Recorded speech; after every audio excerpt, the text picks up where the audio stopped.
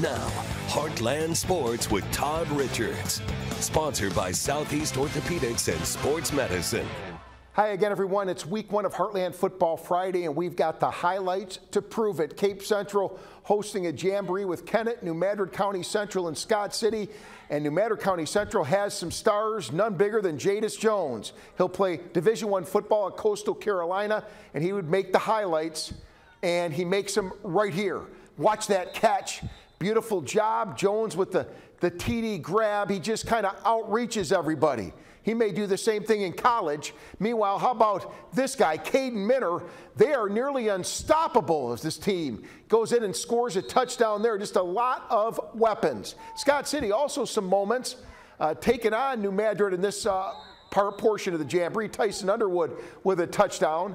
Scott City, uh, how about this one? Jackson Gloth. Nice little easy completion. He'll take it. And Lane Holder pulls it in, number three with six right there in the Jamboree.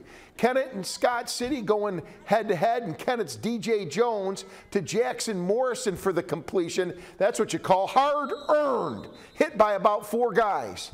Then Kylan Henson says, I'll go in, I'll go out, and I'm going to score a TD on Heartland Football Friday. He did it. Meanwhile, Kent Gibbs' Cape Central team looking to uh, play some D, and they do. Watch him kind of flush the quarterback out right here. They string him out, string him out, playing looking good. Cape looked good and active out there. Cheerleaders appreciate it. They look to get that running game going, physical. And at the end of the night, the coaches talked about what they wanted to learn about their teams.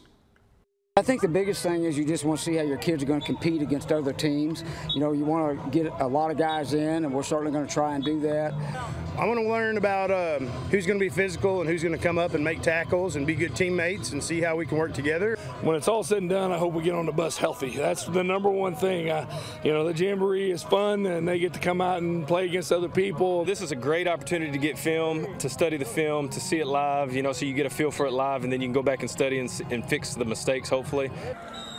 All right. Hey, can't wait. Regular season coming up a week from tonight. Let's head out to uh, St. Vincent, the Jamboree. The Indians hosting Kelly.